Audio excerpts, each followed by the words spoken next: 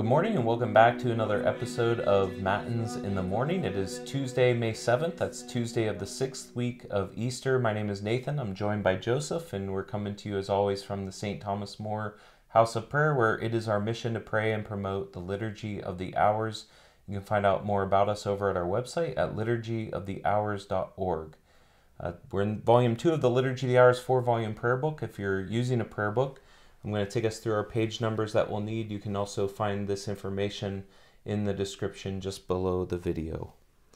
So, our opening hymn today, we'll use the Easter hymn, Be at the Lamb's High Feast, and that uh, begins on page 540. We'll be singing the first verse and the fourth verse. The antiphons and psalms will come from the current day of the Psalter. We're in week two of the Psalter, and those begin on page 1257. And lastly, our readings, responsories, and concluding prayer are in the proper of seasons beginning on page 888. As always, we'll begin with our prayer that we pray in preparation for the divine office. In the name of the Father, and of the Son, and of the Holy Spirit. Amen. Open, O Lord, my mouth to bless your holy name. Cleanse my heart from all vain, evil, and wandering thoughts enlighten my understanding, and kindle my affections, that I may worthily, attentively, and devoutly say this office, and so deserve to be heard before the presence of your divine majesty, through Christ our Lord. Amen. Lord, in union with that divine intention, with which you praise God while you are on earth, I offer to you this hour. God, come to my assistance. Lord, make haste to help me. Glory to the Father, and to the Son, and to the Holy Spirit. As it was in the beginning, is now, and will be forever. Amen. Amen. Alleluia. At the Lamb's high feast we sing praise to our victorious King, who has washed us in the tide flowing from his wounded side. Praise the Lord, whose love divine gives his sacred blood for wine, gives his body for the feast. Christ the victim, Christ the priest. Easter triumph, Easter joy, sin alone can this destroy souls from sin and death set free, glory in their liberty. Hymns of glory, hymns of praise, Father, unto you we raise. Risen Lord, for joy we sing. Let our hymns through heaven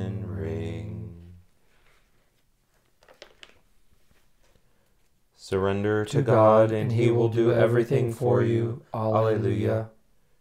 Do not fret because of the wicked. Do not envy those who do evil, for they wither quickly like grass and fade like the green of the fields. If you trust in the Lord and do good, then you will live in the land and be secure. If you find your delight in the Lord, He will grant your heart's desire. Commit your life to the Lord. Trust in Him, and He will act so that your justice breaks forth like the light, your cause like the noonday sun. Be still before the Lord and wait in patience. Do not fret at the man who prospers, a man who makes evil plots to bring down the needy and the poor. Calm your anger and forget your rage. Do not fret, it only leads to evil. For those who do evil shall perish, the patient shall inherit the land. A little longer, and the wicked shall have gone Look at his place, he is not there. But the humble shall own the land and enjoy the fullness of peace. Glory to the Father, and to the Son, and to the Holy Spirit. As it was in the beginning, is now, and will be forever. Amen.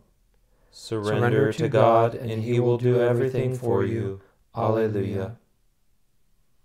Turn away from evil, learn to do God's will. The Lord will strengthen you if you obey him. Alleluia. The wicked man plots against the just, and gnashes his teeth against him. But the Lord laughs at the wicked, for he sees that his day is at hand. The sword of the wicked is drawn, his bow is bent to slaughter the upright. Their sword shall pierce their own hearts, and their bows shall be broken to pieces. The just man's few possessions are better than the wicked man's wealth, for the power of the wicked shall be broken, and the Lord will support the just. He protects the lives of the upright, their heritage will last forever. They shall not be put to shame in evil days. In time of famine, their food shall not fail. But all the wicked shall perish, and all the enemies of the Lord. They are like the beauty of the meadows. They shall vanish, they shall vanish like smoke. The wicked man borrows without repaying, but the just man is generous and gives. Those blessed by the Lord shall own the land, but those he has crushed, crushed shall be destroyed. The Lord guides the steps of a man and makes safe the path of one he loves. Though he stumble, he shall never fall, for the Lord holds him by the hand. I was young, and now I am old, but I have never seen the just man forsaken, nor his children begging for bread. All the day he is generous and lends, and his children become a blessing. Then turn away from evil and do good, and you shall have a home forever. For the Lord loves justice, and will never forsake his friends. The unjust shall be wiped out forever, and the children of the wicked destroyed. The just shall inherit the land, there they shall live forever. Glory to the Father, and to the Son, and to the Holy Spirit. As it was in the beginning, is now, and will be forever. Amen. Turn, Turn away from evil, learn to do God's will. The Lord will strengthen you if you obey him. Alleluia.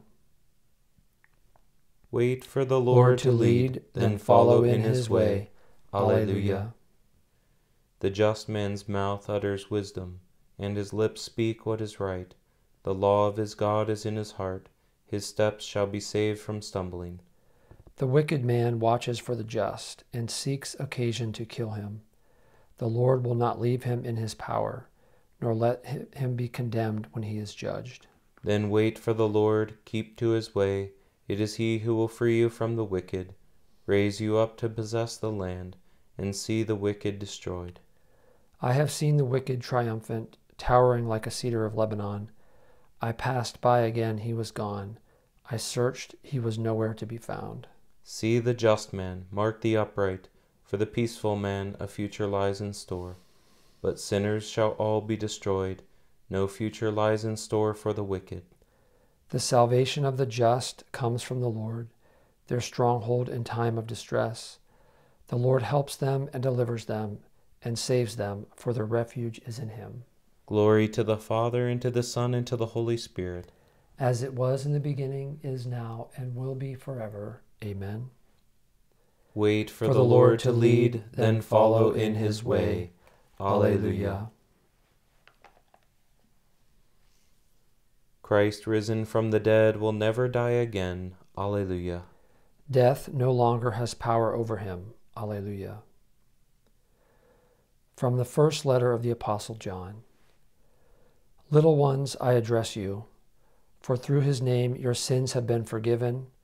Fathers, I address you, for you have known him who is from the beginning. Young men, I address you, for you have conquered the evil one.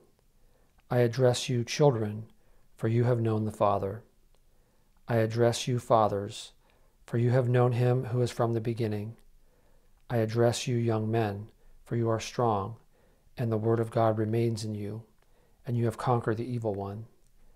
Have no love for the world, nor the things of the world that the world affords.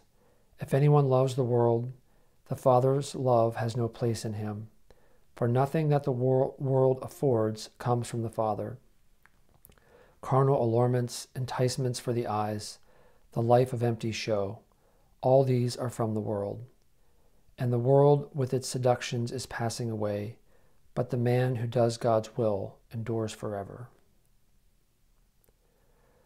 The world and its allurements will pass away. But whoever does God's will shall live forever. Alleluia. Whoever loves the world cannot have the Father's love within him. But whoever does God's will shall live forever. Alleluia. From a commentary on the Gospel of John by St. Cyril of Alexandria. All who receive the sacred flesh of Christ are united with him as members of his body. This is the teaching of St. Paul when he speaks of the mystery of our religion that was hidden from former generations, but has now been revealed to the holy apostles and prophets by the Spirit, namely, that the Gentiles are joint heirs with the Jews, that they are me- that they are members of the same body, and that they have a share in the promise made by God in Christ Jesus. If in Christ all of us, both ourselves and he who is within us by his own flesh, are members of the same body, is it not clear that we are one, both with one another and with Christ? He is the bond that unites us, because he is at once both God and man. With regard to our unity in the Spirit, we may say, following the same line of thought, that all of us who have received one and the same Spirit, the Holy Spirit, are united intimately, both with one another and with God. Taken separately, we are many, and Christ sends the Spirit, who is both the Father's Spirit and his own, to dwell in each of us. Yet that Spirit, being one and indivisible, gathers together those who are distinct from each other as individuals, and causes them all to be seen as a unity in himself. Just as Christ's sacred flesh has power to make those in whom it is present into one body, so the one indivisible Spirit of God, dwelling in all, causes all to become one in spirit. Therefore, St. Paul appeals to us to bear with one another charitably, and to spare no effort in securing by the bonds of peace the unity that comes from the Spirit. There is but one body and one spirit, just as there is just as there is but one hope held out to us by God's call. There is one Lord, one faith, one baptism, one God and Father of all, who is above all and works through all and is in all. If the one Spirit dwells in us, the one God and Father of all will be in us, and He, through His Son, will gather together into unity with one another and with himself all who share in the Spirit. There is also another way of showing that we are made one by sharing in the Holy Spirit. If we have given up our worldly way of life and submitted once for all to the laws of the Spirit, it must surely be obvious to everyone that by repudiating, in a sense, our own life and taking on the supernatural likeness of the Holy Spirit, who is united to us, our nature is transformed, so that we are no longer merely men, but also sons of God, spiritual men, by reason of the share we have received in the divine nature. We are all one, therefore, in the Father and in the Son and the, and the Holy Spirit. We are one in mind and holiness.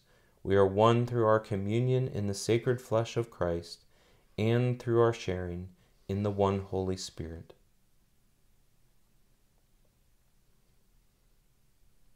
Since there is only one loaf, though we are many, we form one body.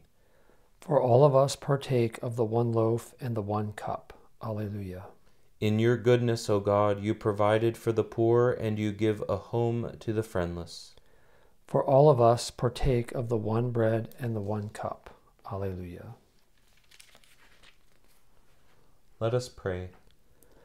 God, God our Father, may we look forward with hope to our resurrection, for you have made us your sons and daughters and restored the joy of our youth.